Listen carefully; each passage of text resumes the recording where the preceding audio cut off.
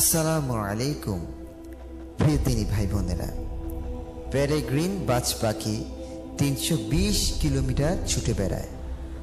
এত গতিতে এই পাখিটি ছুটে বেড়ায় যে তার নাকের যে ছিদ্র রয়েছে, সেই ছিদ্র দিয়ে তার ফুসফুস ফেটে যেতে পারে। এই জন্য আল্লাহ সুবহানু তাআলা তার নাকে জবা করলে সরাসরি এই বাতাসটি পৌঁছে না। এর জন্য তিনি একটি নকশা তৈরি করে দিয়েছেন।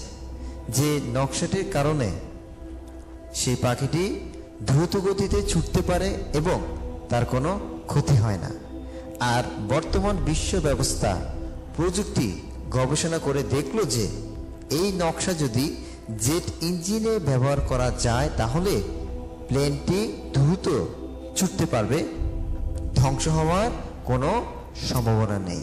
সুবাহান আল্লাহ আল্লাহ আকবার।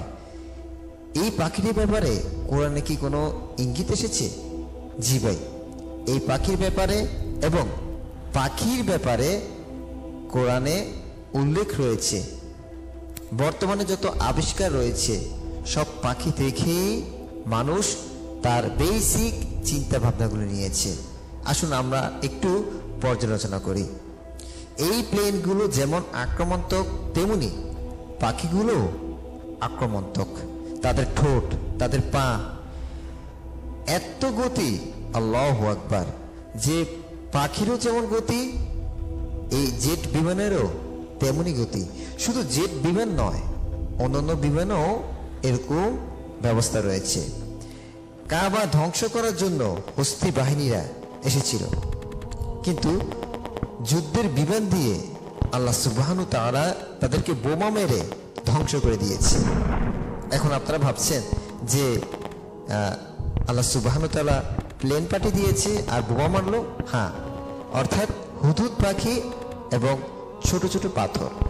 পূর্বে তো আর আল্লাহ সুবাহানু তালা আসমান থেকে রকেট পাঠায়নি। আল্লাহ তালা একটি বুদ্ধি দিয়ে দিয়েছে যে বুদ্ধির মাধ্যমে এখন আবিষ্কার করছে আকাশ থেকে যদি বোমা মারা যায়, আকাশ থেকে যদি রকেট লঞ্চার মারা যায়, তাহলে তো ধ্বংস করা সম্ভব।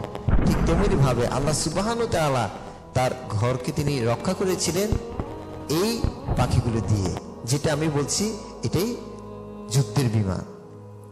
এবার ভাবুন তো আল্লাহ সৃষ্টির ভেতরে কত কিছুই নতুন করে আবিষ্কার সম্ভব।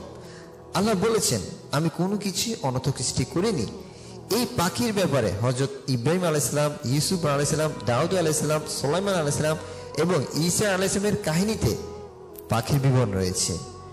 হুদুদ নামের একটি পাখি যা হজরত সুলাইমান আলাইসলামের বিশ্বস্ত গুপ্তচর ছিল এবং সংবাদ বাহকও ছিল। এসব পাখি কিন্তু চড়ুই কিংবা শালিক পাখি নয়।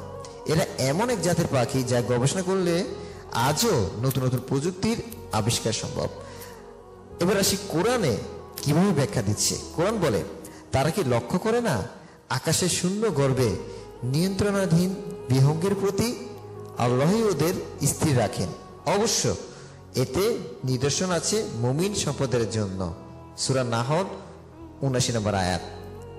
আল্লাহ সুবাহ তারা বলে দিয়েছেন যে, এই পাখিগুলো নিয়ে গবেষণা করতে। তাহলে মুমিদের জন্য হেদায়ত কামনা রয়েছে। সতর্ক করা হয়েছে। আজকে মুমিন গবেষণা না করে কাফেররা গবেষণা করে যুদ্ধের বিমান আবিষ্কার করে ফেলেছে। আবিষ্কার তো করেনি বরং সেই আহ, জিনিসগুলো দিয়ে মুসলিমদেরকে হত্যা করা হচ্ছে।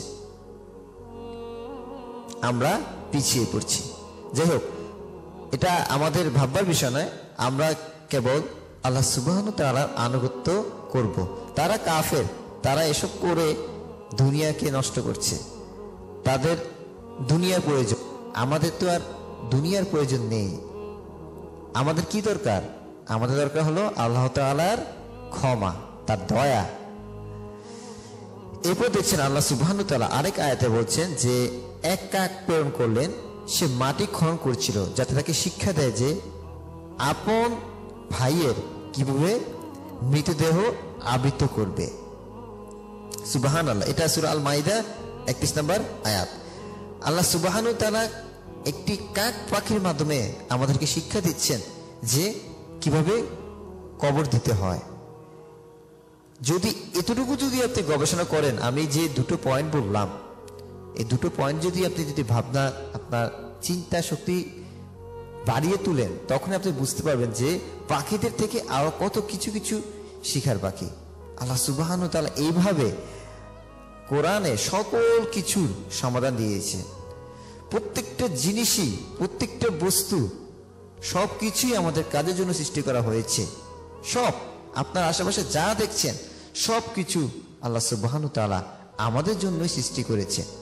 যাতে আমরা সুন্দরভাবে, সঠিকভাবে আল্লাহ সুবাহানু তালার আবেদত করতে পারি।